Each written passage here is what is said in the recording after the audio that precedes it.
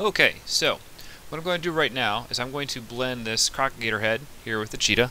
If I zoom out a little bit, you can see there's the cheetah's body. Um, I got a crocagator head on top of it. If you look over my layers, crocagator head, cheetah body, red background. That'll become relevant here in just a second. So I'm going to zoom in close, always zoom in close. Um, and a couple of things I want to do. First of all, I'm going to use an eraser to blend out the crocagator head here into the cheetah's body. Some things I want to do is I want to check behind this and I don't want to have things like the face showing through. Now this really isn't going to be a problem with this demo, but I'm going to show you how to solve this problem anyway because let's say I'm erasing something and then I start to see facial features popping through where I'm erasing, very awkward. So, what I'm going to do on the crocagator head layer, I'm going to take my fuzzy select tool, I'm going to click so it gets everything around the crocagator head. I'm going to make that invisible and I'm going to go down to the cheetah layer. What I can do at this point is I can erase out things that are outside my selection area. Now it's going to erase to red. Don't be alarmed just because the background behind it's red. It's going to make this very easy to see. I don't not need to do everything, but I want to get rid of the chin of the cheetah here and the ears that are sticking out.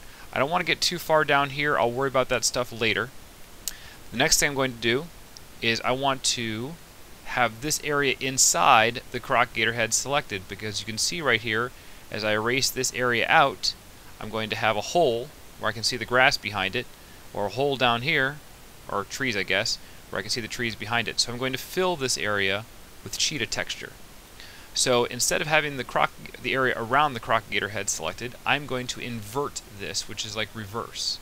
I go up to select I which modifies my selection areas and I invert so now what I have selected is actually where the cheetah is. So if you can see if I erase now, there's a hole in the cheetah. I don't want to do that, but that's where I am. Okay, So I'm going to go to a clone stamp tool. Looks like a rubber stamp. I click on this.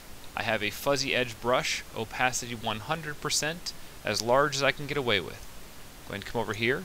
I'm going to grab some cheetah texture. I'm going to hold down my command button and I click where I want to source from you can see that a circle remains there.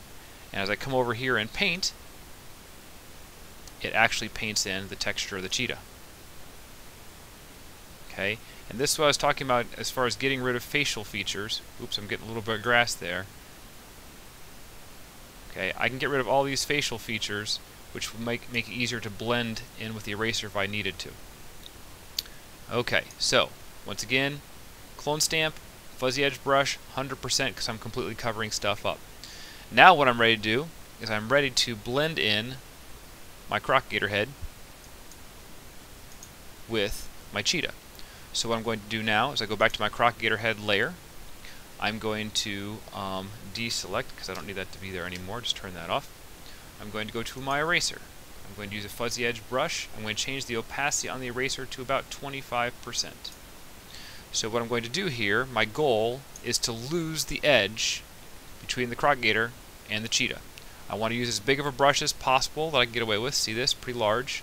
Gives me a, a smoother blend. And as I'm going to start erasing here, you will see